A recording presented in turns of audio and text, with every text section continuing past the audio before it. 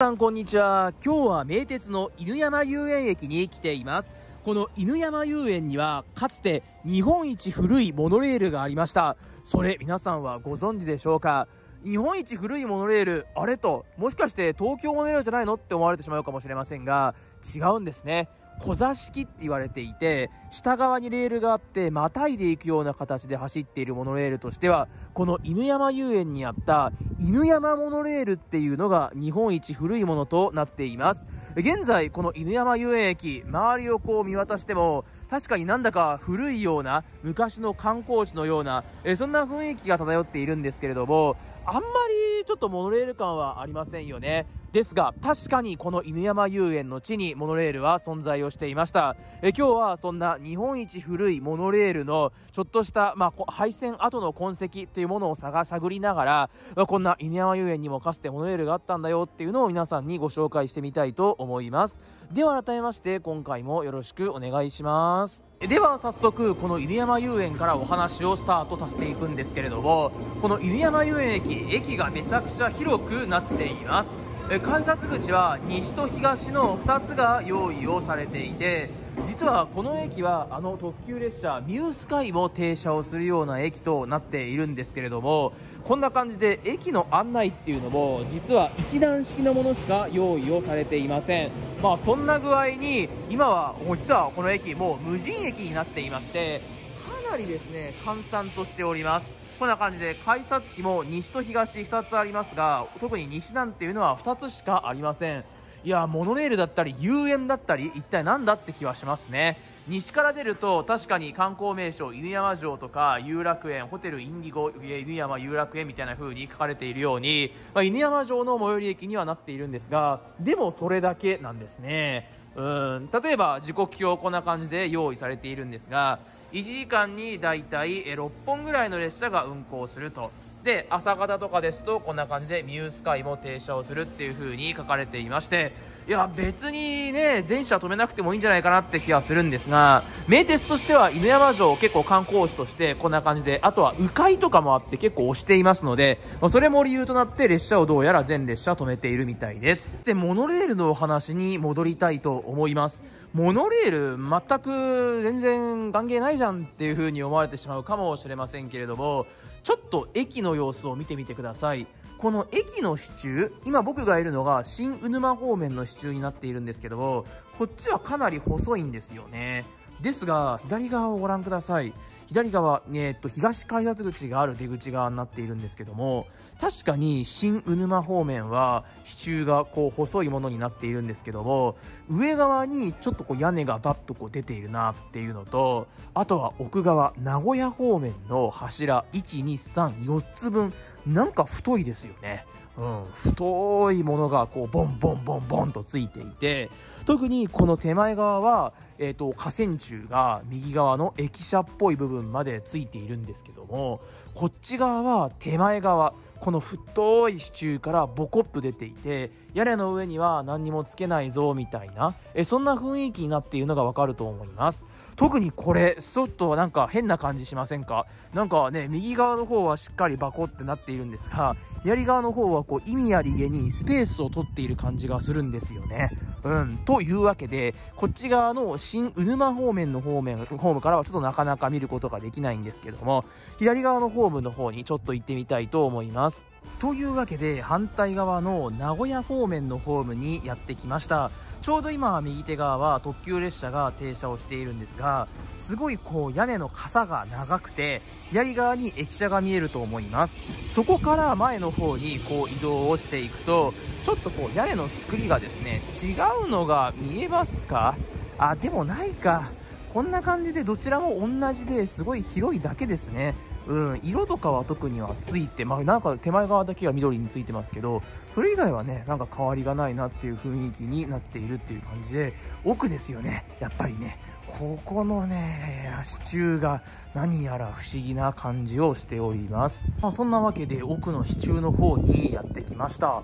そうしますと、ここまでは屋根が右にこう斜めてたんですけど、こっから左側は特にこう直線みたいになっていて、すごいこう太い支柱が刺さっております。右側見ると、うぬま福って書いてあって、まあ、なんかモノレールっぽさはないんですけど、これね、上の方までこんな感じでぶっ刺さっているような支柱になっていて、すごい太いっすね。うん、こんな感じで。太いものがこうどんどんどんとなっているんですけど、まあ、確かに右側の方斜めな屋根と横側に横にストレートに入っている屋根みたいなそんな雰囲気になっています、まあ、でもどれをとっても結構古そうな感じはしますよね。うん。だからといって何かが書いてあるわけではないんですけどもこんな感じで1234っていう風になっていてで太い支柱も今も使われてるって感じですね。で左側の方を見るとこっちもなんかまたこう支えみたいなものがこんな感じで刺さってるよっていう感じになっているということですねうんまあでも何かこれといっ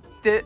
こうなんか文字が書いてあるとかはないですが、まあ、でもこれは何でしょう？なんか不思議な横になっているような金具みたいなものもここでは見えています。ま間違いなくこの犬山遊園駅っていうのがモノレールの、まあ起点となっていましてここからこのモノレールっていうのは動物園遊園って最初にお話をしたと思うんですけどもこっから犬山にはモンキーパークっていう遊園地があってそこまでモノレールっていうのがアクセス路線として活躍をしていました。それが、まあ、1962年という非常に古い年代に完成をしましてそれが、まあ、東京モノレールよりも古いんだよっていう、まあ、そんな列車となっていたようです。こんな感じで端っこまでやってきますとなんか確かに上側にモノレールがあったのかなっていう感じはしますね。ただまあ何も上には残ってはいませんがまあといっても2008年にもう亡くなってるので15年経ってますから、まあ、当たり前っちゃ当たり前かもしれません。ちなみにモノレールはここです。まっすぐこう路線は走っていましたので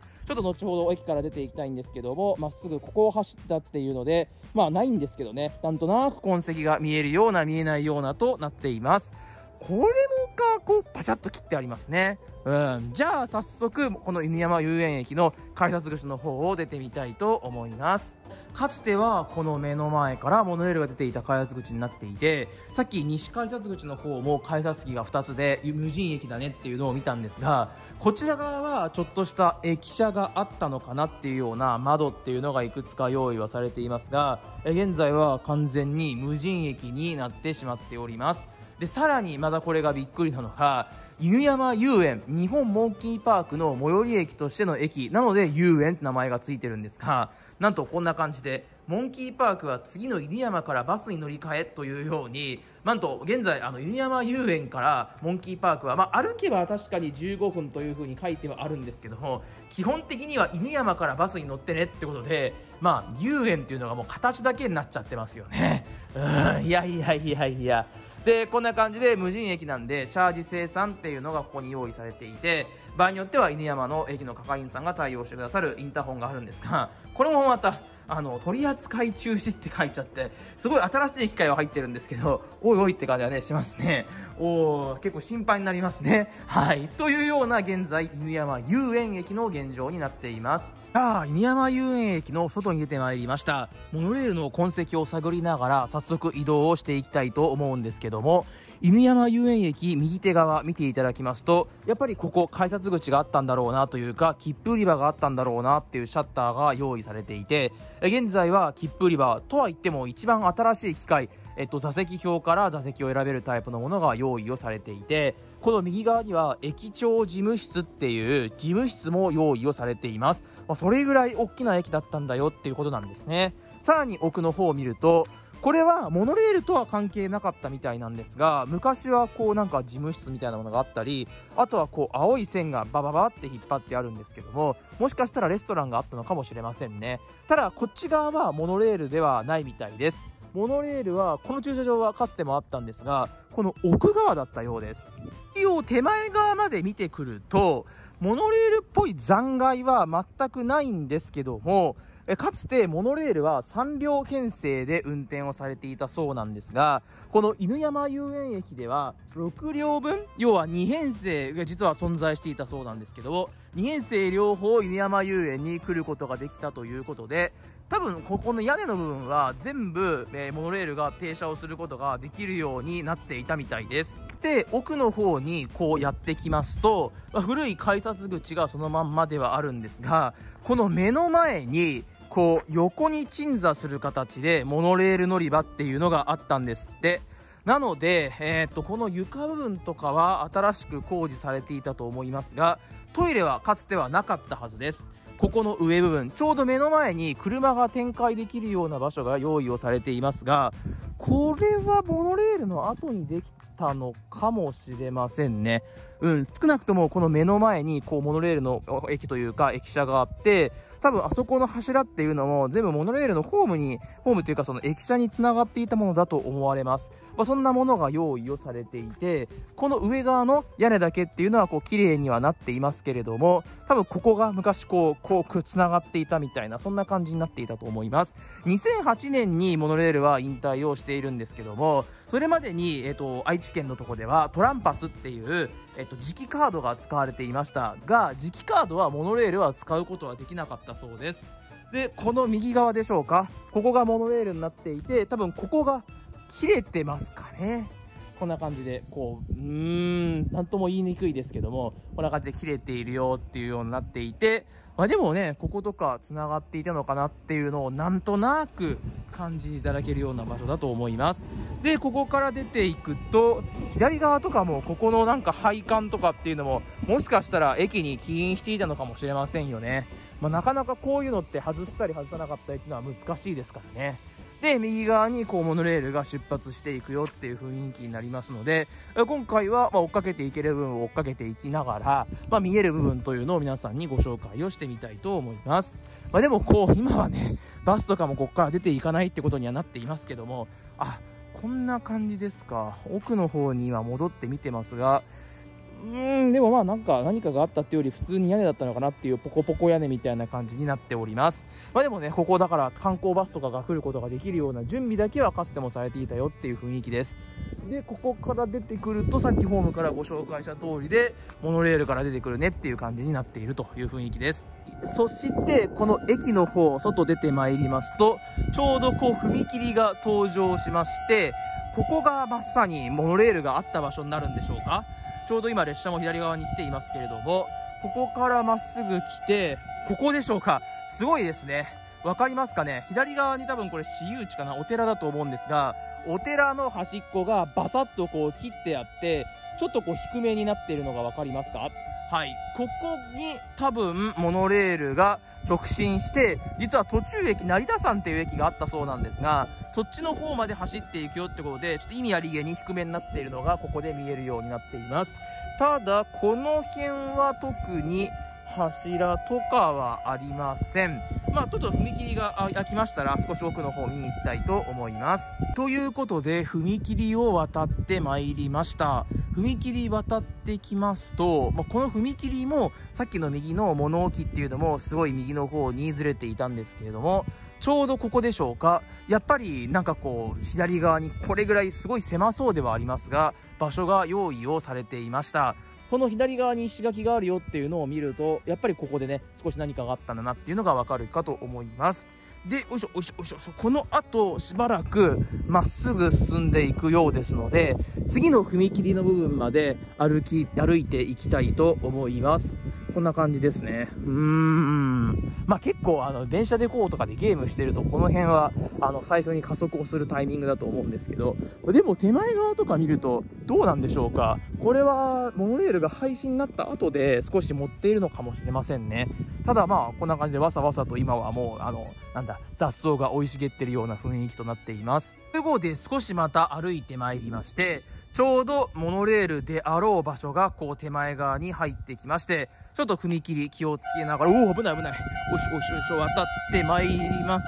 と、おしょ、ここの目の前の部分がどうやら配線跡になっていたようです。で、モノレールがちょうどここ神社の方入っているんですけども、どんな感じで進んでいったのかっていうと、ちょうどこう、今列車が見えてますが、こんな感じで手前側にやってきて、こう不思議と遊歩道みたいな感じになっているんですが、ここの正面の方にどんどん土手じゃないですけど上の方にっていうようにどんどんどんどん上の方結構モンキーパークって勾配高いとこにあるそうなんですがそちらの方まで進んでいたよってことで確かになんかこうねここからは入ってはちょっと行くのは大変そうなんですけども明らかにあそこだけなぜか道路があるわけでもないのに道ができているっていうのと左側の石垣の位置っていうのを確認すると確かに何かが走っていたんだなっていうのが分かりますね。こう、えっ、ー、と、清流山随泉禅寺、禅寺というのは、でもこれ古いと思うんで、ちょうどここでしょうか。ちょっといい感じにこう分けていたなっていうのがわかるのかと思います。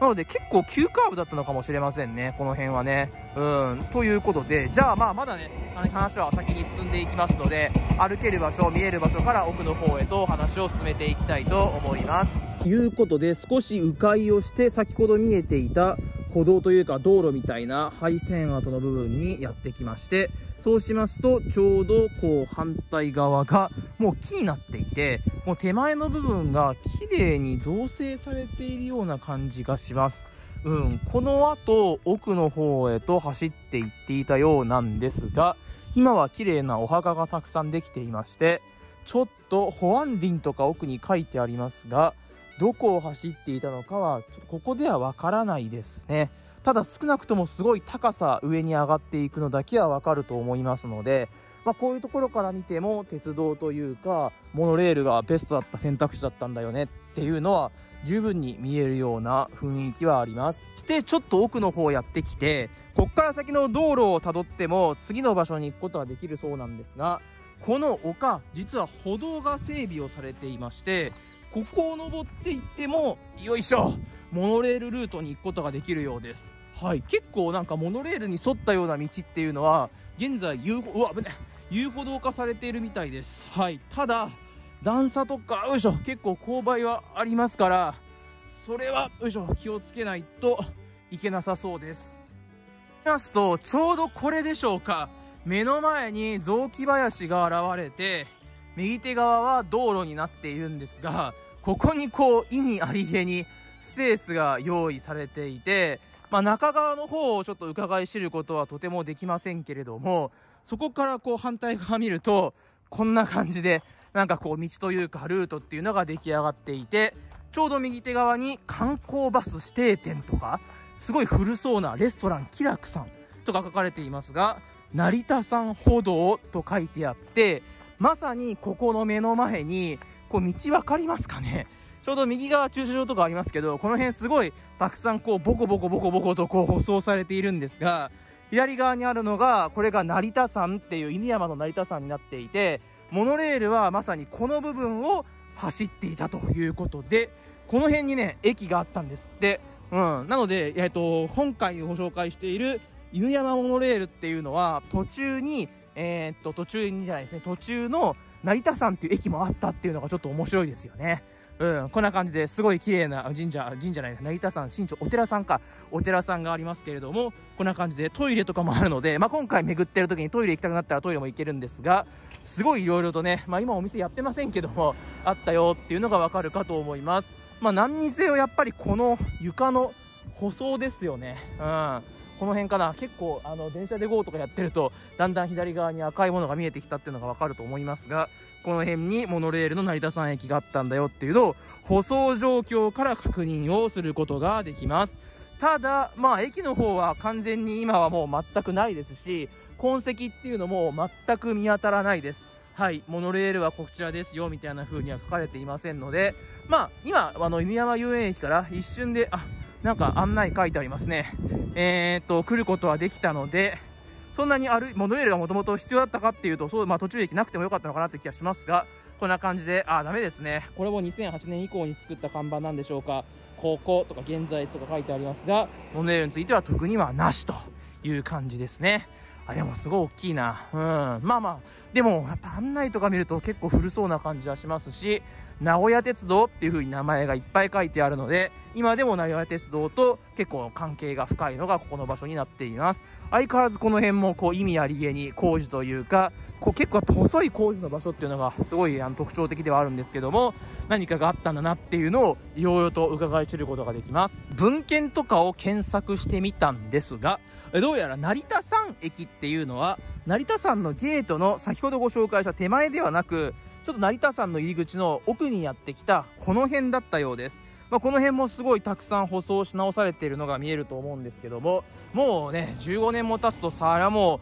うなんか風化された感じはするかもしれませんが、ちょうどこの辺、お手洗いって書いてありますけれども、この辺にどうやら成田山の駅というのがあって、成田山駅は一面一線、一面一線のシンプルな駅にどうやらなっていたみたいです。で、この先、さらに勾配を上がって、終点のモンキーパークの方に向かっていたということで、ルート、またこれもすごい雑木林みたいな感じにはなっていますけども、奥の方に進路をどうやら取っていたみたいです。なので、ここかな？この目の前にあったのが成田山駅になっていて、確かにアクセスし便だったねっていうのがこれで見えます。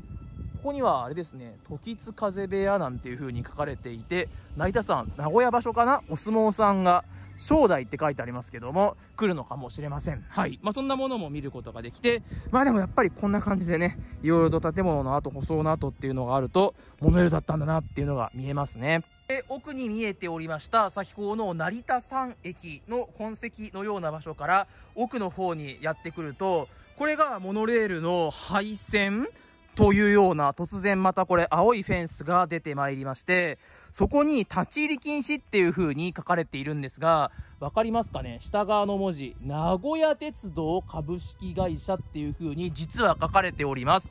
ここ、名鉄が入るなって言ってる場所で、まあ、森というか木だらけなんで何が何だか分かりませんが、実はこの先、ついにモノレールが登場します。モノレールというか、モノレールの痕跡が登場します。ちょっとなかなか足元の悪い場所ではあるんですけども、ちょっとこのフェンスの横に沿って歩いてみたいと思います。で、こんな感じで上側のこの名古屋鉄道って書いてあります、フェンスのこう横側の方上がってくると、いよいよ初めてのものが登場してきました。本当に雑草だらけで何が何だかわかんないんですけれども、まず下側にこのように境界名標みたいなものが用意されていて、これが名古屋鉄道の多分境界を示しているんだと思いますが、このフェンスの中見えますでしょうか？よいしょ。ちょこっとだけなんかぶっといものが見えてきまして、そう、これがかつてモノレールが走っておりました。モノレールの軌道になっています。ここからですね、まあ、スタートするというか、ここでちょん切ってあるよ、みたいな、そんな話にはなるんですけども、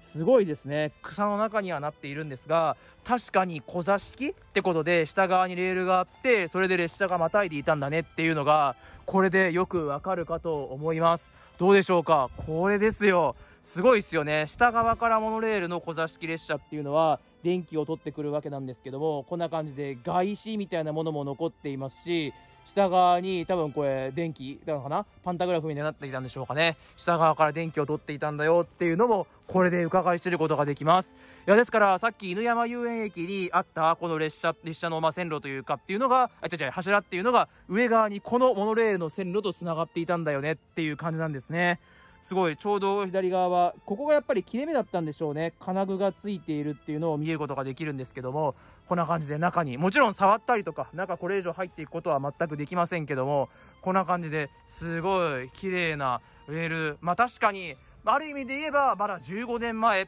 て言えますからね、になっていました。わあ、上側とかも結構なんかこう、砂利みたいな感じで、ジャイジャイみたいな感じしてますけども、ここにね、走っていたんですよね。ですから、このね、成田山のところからすると、モエルがこう、ブオーン、ブオーンという感じで、あ、なんか書いてありますね、あそこに。よいしょ。なんだあれは？61、なんだろう？6、61、えー、61、なんだ ?6112 みたいな感じで数字が書いてありますね。うん、ちょっと分かりにくいんですけども、61だ、あれ昭和61年に何かをしたってことなのかもしれませんね。うん、まあそんな名残？あちょっとすいませんあだからせでもあ違うか、ま、番号なんですかね、61037、ちょっと分かんないんですけども、まあ、過去の、ね、痕跡をまず最初に成田山にやってくると見えたということで、まあ、この辺、確かに周りにこれ外そうとすると、すごい木も外していかなきゃいけないので、ね、難しいのかもしれませんけど、こんな感じでこの先もまだまだ続いています。で、ここにも同じく名古屋鉄道っていう風に書いてありますので、あ、明らかにここがやっぱり名鉄だったんだなっていうのを感じいただくことができるかと思います。で、この先はもちろん山の中に入っていってしまいますので、ここから先っていうのも改めて少し迂回をしながら、このモノレールの配線跡を辿っていきたいと思います。今日で成田山の駅の方から出てきて、今度はしばらく迂回ということで、この道路の方を歩いていくことになります。今しばらくまっすぐ歩いていくと、もう一回モノレールに出会うことができるそうです。このまままっすぐ歩いてきて、途中1箇所左に曲がって、とにかく目印があれですか。どうやらモンキーパークの中が見えてくるようになったんですが、とにかくちょっとこの辺分かりにくいので、地図の方も添付しながらお話をしたいと思います。ちょっとよかったら地図の場所も参考にしながら行っていただきたいんですが、やっぱりモノレールがね、山の中の方を走っているということもあって、そこにたどり着くのは難しそう。まあ、車を使えば一瞬で到達はできますが、そういう意味ではやはり山の中を突っ切ることができたモノレールっていうのは、理にかなった乗り物だったんだなっていうのも、ここでもまた一つわかるとこですね。このまましばらく歩いてきまして、東宮古墳国史跡って書いてある場所、ここがどうやら次の場所になっているようです。左側に丸山児童遊園と書かれている場所、ここまっすぐ行ったところが次なるポイントになっているそうですが、これもまた草が茂っていますが、見えるのかな？結構有名な場所。あ、この公園はトイレもつけているいるみたいですね。はい。が、一応ね、ルートとしては、ここのようです。思ったらですね、ちゃんと歩道が整備してありましたし、さらにありました。あれ、見えますかね？ちょうど右側を見ると、またこれも緑色で、さっきのモンキーパークの、なんかこう、絵柄がついている側に道が用意されていて、そっちは立ち入り禁止で、同じく名古屋鉄道、そうか、またモノレールか、という風に思うと、左側を見ると、しっかりとここにも、ドーンとこう、でっかいモノレールのレールが出てきました。いや、これビビりますね、正直。うん。まあ、多分これ公園のために、うまあ、ここの辺は整備してやるだと思います。てか、古墳に行くためのルートだと思うんですけど、こんな感じで、すごいな。突如としてこう、ビョコッと現れる、再び、えこれこそがえモノレールの線路になっています。なので、さっき成田山駅の方からレールがまた残って、この先は撤去されたのかなでも、こんなところに重機来れたのかなっていう気がしますが、まあ、少なくともこの右側に見えている、ここが次なるモノレールスポットになっています。うわー、すごい。もう森の中に帰ろうとはしていますが、でも無機質ですからね。うわー。こんな感じでよく観察をしていきますと、同じく下側に名古屋鉄道立ち入り禁止って書いてあって、同じような太い支柱になっているんですが、左側を見ると、やはり電気がついていたんであろう電線の跡があり、さらに手前側には、やはりここでレールが切れていたんであろう切れ目があって上側にレールの方が見えているっていう雰囲気になっています大きいですよねうんでこの先が今度反対側をよいしょ見てみるとモノレールがきっとあったんでしょうけれども何にもないです、こっちは。はい。支柱も一本もないんで、綺麗にこっから先はなくなっているっていう雰囲気になっていました。で、この先も遊歩道みたいな感じになっていて、古墳の方に上がっていくことができるそうなので、もう少しこの左側のレールを探索することができるようです。この中も少し歩いていきましょう。しかしまあこうやって普通に、えー、登山道というか用意されてるのはありがたいっちゃありがたいですが、結構歩くのは大変ですが、おおすごい。真横に、すごい結構綺麗ですね。見えました。さっきの場所よりもより綺麗に支柱が見えていて、モノレールの電気、外資の方もしっかりと確認ができます。まあ、朽ち果てているとはいうものの、ちゃんと外れたりとかっていう感じではなくって、今でも残っていて、まあ、電気さえ通せばあたかも走るんじゃないかなっていう雰囲気になっています。まあ、これ、モノレール現役当時がここの登山道が整備されていたのかどうかは分かりませんが、まあ、あったとしたら結構綺麗に見えていたんでしょうね。あ、こんな感じでしっかりと、よいしょ、よくしょ、金属の支柱、ここですね。だから下側が犬山遊園駅にあったのと同じもんなので、そこから上側にこんな感じでモノレールの軌道がついていて、さらにその上をモノレールが走っていたんだなっていうのが、これでよくわかりますね。うん。いや、すごいけど、でもまあ、森に帰っていきましたよね。こんな感じで、もうほとんど上側に土が積もっちゃっていまして、もうね、モノレールが走っていた頃はなかなか忍ぶことはできませんが、それでも名古屋鉄道っていう文字と、えそしてモノレールの線路と、わ、上側すごい、もう何年も経っているから、15年分とは言わないまでも、すごい何年分の落ち葉っていうのがレールの上についています。はい。まあこんな感じでこの奥側さっき見ていました成田山の方へと線路が続いていましてえそういう意味でここにまだモノレールがあったんだよっていうのを中でも15年経った今でもしっかりと確認をすることができます。奥に入ってきまして、これ以上奥に行ってもあまり優位なものが見えないとのことですので、この辺でまた戻っていこうと思うんですが、でもこんな感じで上の方から路面電車じゃなくてモノレールの線路の方がこう見えているのと、やっぱ名鉄の音もすごい近くで聞こえるんで、まだまだ近いのもよくわかりますね。こんな感じで立ち入り禁止っていう名鉄の文字と、レールと上の線路の、線路の上の落ち葉っていうのが、すごく味を、当時の味を出しています。架線も綺麗に残ってますね。ここまで綺麗な配線跡もなかなか珍しいような気がしますね。はい。じゃあまあ、これでまた戻っていきまして、モンキーパーク終点の方まで行きたいと思います。この先はまたちょっと追っかけるのが難しいようです。けで、反対側の先ほどの雑木林の方から再び道路の方に出てまいりまして、ここから奥の方に結構こう坂があるのが大変なんですけども、ちょうどあちら側にある、えタワ、タワ、タワ塔みたいなちょっと不思議なものなんですけども、に向かってとにかく上へ上へとまっすぐ進んでいきます。で、坂の方を延々と登ってきて、右手側に黄色い建物が見えてくると、いよいよ左手側が遊園地日本モンキーパークになります。まずはちょっとね、焦って中の方に行きたいと思います。駐車場がとにかく多いですね。はい。ということで、閉園時間間際となっていましたが、最後のポイントは、モンキーパークの中に入らないと見ることができないそうなので、猛ダッシュして中の方に走ってまいりました。そうしますと、モンキーパークの入り口の奥に地図が用意をされているんですが、今回皆さんにご紹介をしたいモノレールっていうのは、動物園エリアとの境目にあるそうです。今僕は遊園地エリアから中に入ってきて、こっから左側とか上の方にいろんなゾーンが用意をされているそうなんですが、この遊園地の中をどんどんどんどん通って奥の方に行くよっていうことになっているようです。まあ、結構なんと言ったらいいんでしょうか、レトロな感じな遊園地になっていて、までもすごい子供連れの方とかたくさんいらっしゃったので、遊園地としてはなかなか面白そうですね。愛知県の中でもあんまり遊園地ってって多くはないんですが、このモンキーパークは南下ビーチランドと合わせて、名鉄系が運営をしているというものになっているようです。でも観覧車とかありまして、結構景色とかも良さそうです。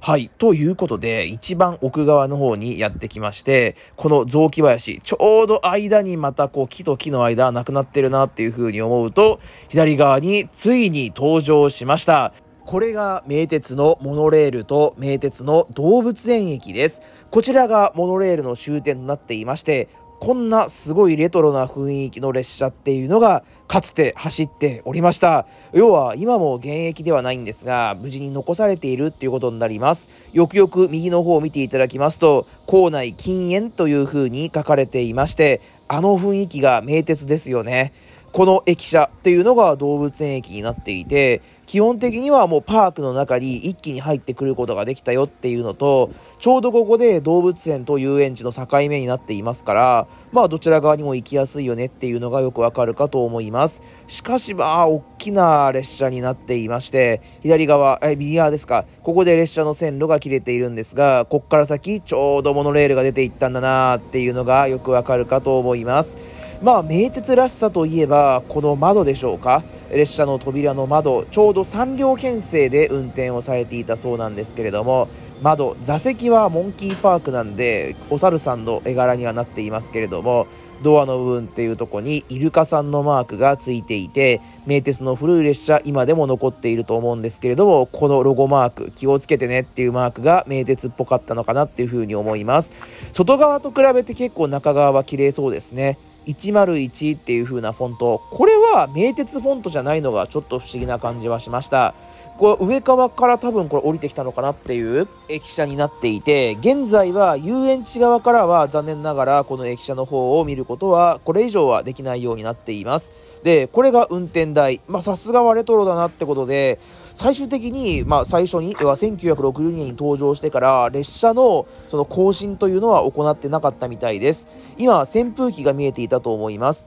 上側になんかまるでクーラーみたいなものが見えてはいますが、どうやらこの列車は今でいうヤママン、形成のユーキャリが丘から出ているヤーマンと同じで非冷房車っていうものになっていたんですって。いや冷、非冷房かっていうのは結構びっくりではありますけどね。ちょうどここ、今ゲートで入ることはできませんが、この動物園側に駅舎があって、現在もここは、えっ、と、えー、レストランみたいな感じで利用をされること、利用をされているみたいですので、まあ、ちょっとした駅舎の名残っていうのを感じることはできるかもしれません。まあ、ちょっと地図とか、さすがにちょっと携帯のズームだと限界があったので見ることはできなかったんですけども、それでも一番、まあ、モノレールらしい痕跡っていうのを、モンキーパークの中で感じることができました。いやー、こんな感じで残っていたんですよね。で、一応、この動物園駅の奥側にモノレール基地ってことで、3編成、ちょうど奥左側に駐車場が見えていると思いますけれども、その部分にモノレールのメンテナンスをするような車庫っていうのが用意をされていて、現在はもう完全に撤去されているっていうような雰囲気となっています。モノレール3両編成になっているんですが、残りの一部の編成は現在でも他の場所で保管だったりとか保存だったりとかっていうのをしているらしいです。これ撮影の後に撮ってはいますけれどもこんな感じで遊園地、まあ、入んないとモノレールっていうのは見ることができずにあとは時間ですけども5時までという結構早い時間帯になっているので中側から見るっていうのは結構早い時間に行かないとアウトになってしまいます。またこんな感じで入園料金今回僕はま本当にわずかね30分足らずでこの1300円支払ったんですけど遊園地側でも十分に見ることができますがもうちょっと奥の方から見たいよっていう場合はこの動物園側に入り口っていうのがモデルの入り口側があってそうなると2300円っていう感じになって、まあ、なかなかお高めになっております。で、えー、っと、あとは、何でしたっけ、乗り物、まあ、遊園地なんでね、乗り物が今、いくつも置いてあったわけなんですけども、乗り放題とかにしようとすると3900円っていう感じになっていたみたいですね。あれも本当にあのびっくりして、たくさんの方がいらっしゃって、特にね、子供連れの方、まあ、愛知県確かにあんまり遊園地っていうとないじゃないんで、そういう意味で言うとね、結構混雑していたなっていうのを中で感じることができました。ただ、モノレールはやっぱりあんまり混んでなかったんで、皆さんのね、注目の的ではないようです。モノレールじゃなくて、モンキーパークのこちら入り口側から出てまいりまして、この奥とか、まあ、本当に多くの方は、でも三河ナンバー、名古屋ナンバー、尾張小牧ナンバー、豊田ナンバー、愛知県から多くの方はやっぱり車でメインで来てらっしゃるっていうので、まあ、モノレールが廃れるのもよくわかるなっていう感じではあるんですけども、交通手段としては、一応ここの目の前、ゲートの方、もちろんモノレールよりはちょっと距離はありますけれども、バスということになっていまして、バスで犬山駅の方に行くことができるようになっています。バスですが、だいたい1時間に1本ないし2本となっていて、リトルワールドと絡めて犬山駅からのバスとなっていました。モンキーパークから犬山駅まで料金は170円、モノレールは150円だったそうです。また、モノレールはだいたい土休日だと1時間に4本走っていたってことになりますので、本数も少なくなり、運賃も上がってしまったっていうのが現在の交通事情となっているようです。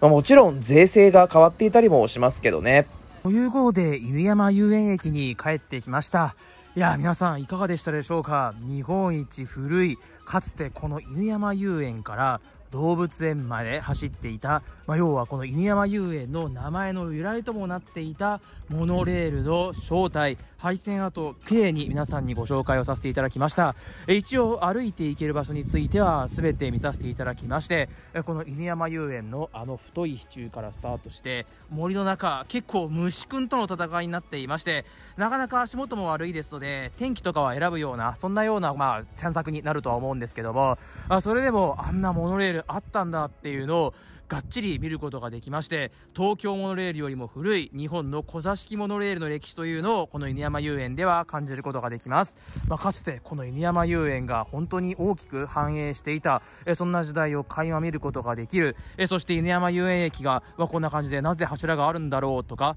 モンキーパークとかあとは電車で GO であれ？そんなのあったの？みたいな風に思われるかと思うんですけれども実際やってきていますと確かにモノレールそこにあったんだよっていうのを今回皆さんにご紹介をさせていただきました。まあ、なかなかちょっと犬山まで来るのは遠いかもしれませんけれども、まあ、こんなに距離もないので、まあ、全体的に、まあ、2時間もあれば、撮影とかがなければ、散策、モンキーパークまで十分に行くことができるんじゃないかなって思いますので、皆さんも一度、この犬山遊園のモノレール見に来られてみてはいかがでしょうか。はい。ということで、今回の動画は終了したいと思います。この動画が面白かったという方、ぜひチャンネル登録よろしくお願いいたします。ではまた次の動画でお会いしましょう。最後までご視聴いただきましてありがとうございました。バイバイ。